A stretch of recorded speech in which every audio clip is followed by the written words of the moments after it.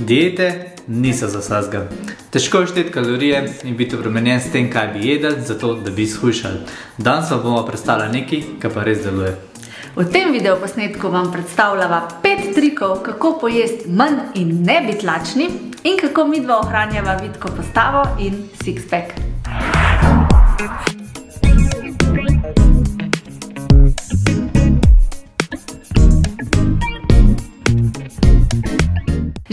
dobrodošli nazaj na kanalu Moj laboratorij. Nekaj časa se že nismo videli, ampak bomo vse nadoknadili, prav? Ste na kanalu Moj laboratorij, kjer govorimo o ščitenci, hormonih, alergijah in pa o hrani. Poskusili smo že kar nekaj diet in pa izkušnje, vpliv in pa vpliv na zdravje in pa na izvide deliva z vami na tem kanalu, tako da če vas zanima taka vsebina, se naročite na kanal.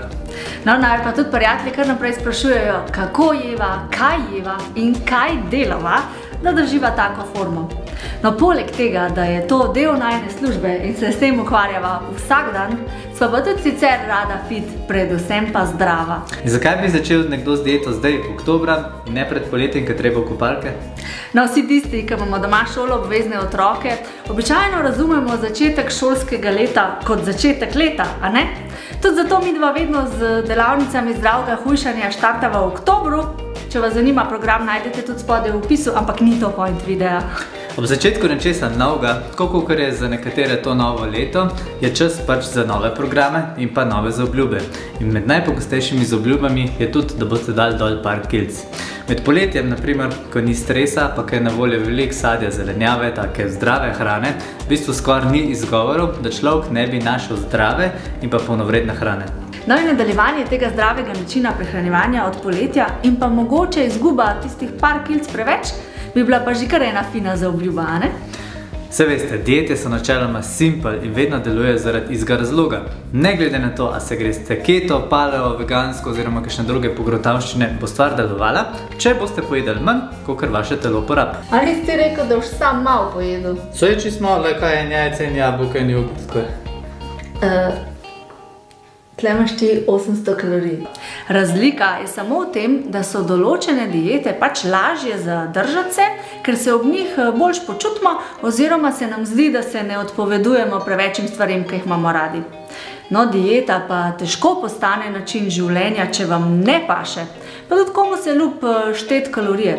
Zato vam midva predstavljava pet enostavnih trikov, ki jih prakticirava tudi sama, lahko pa pridejo prav vsem, ki bi radi majčkeno shujšali ali pa mogoče postali svojo dieto mehen bolj na ti.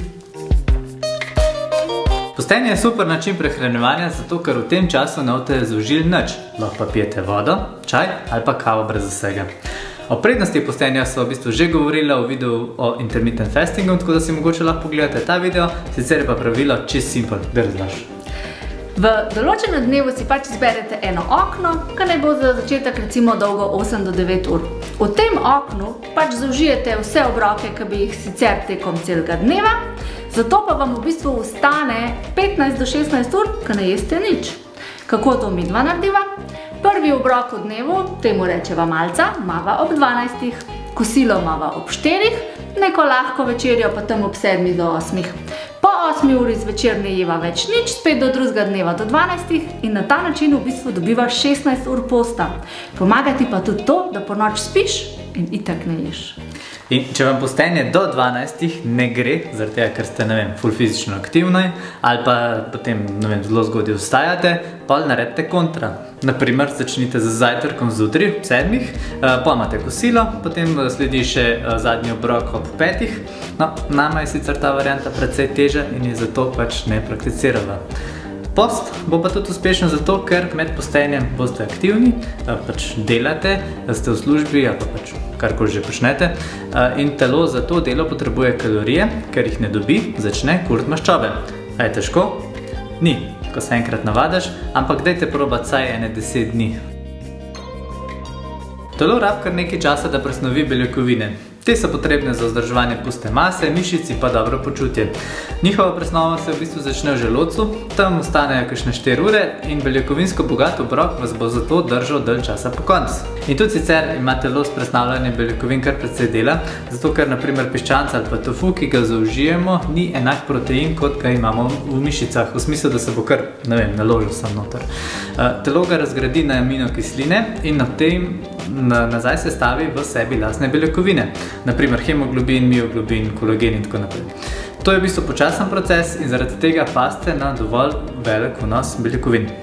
Priporočen vnos eh, beljakovin za ženske je tako recimo nekje 60 gramov, za moškega pa okvirno 80 gramov na dan, pri čemer imajo pa seveda športniki precej večje potrebe po beljakovinah. Midva naprimer beljakovine načrtujeva. Torej, izmed dveh do treh obrokov v času, ko se ne postiva, najprej izbereva beljakovine. To je vem, piščan, sir, tofu, ribe ali pa drugi nadomestki in okrog tega sestavlja na en obrok. No, lahek, ampak beljakovinsko bogat obrok vam bo omogočal tudi, da zvečer lažje zaspite in da se ne zbujate po noč. Sigurno poznate koga, ki po noč hodi ropat hladilnik. Zakaj je to? Kaj delaš? Nekaj bi. Pa si lačna ali si jaz sem dal čas zube? No, možgani, ki so največji porabnik sladkorja, so po noč aktivni in ko vam ta krvni sladkor pade, se zbudite in morate iti jesti v hladilnik. Kako se pa tega lahko rešite? Tako da je zadnji obrok beljakovinsko bogat. A veste, naprimer, koliko kalorij ima en krof? 700. Kaj pa pica? Vsaj 1000. Domača solata z olivnim oljem? Eh, 250. Kaj pa solata v McDonald'su, pa njihov predliv? 700! In tukaj vidite, da pride do razlik v dnevnem vnosu kalorij. Zdaj, če je vaš eh, cilj izguba telesne teže, potem se je dobro izogibati kalorijskim bombam, kot te pač niso na mestu. Primeri takih skritih živil z vsaj 500 kalorijam, kar je v bistvu že svoj samostojen obrok, so naprimer Za zajtrk domača granola s suhim sadjem in jogurtom, ker smo vsi mislili kot otroci, da to je najboljši in najbolj zdrav zajtrk pol kakšne piščančje krače, perotničke in pa vse meso, ki ni pusto. To so čevapčiči, ražniči, kotleti.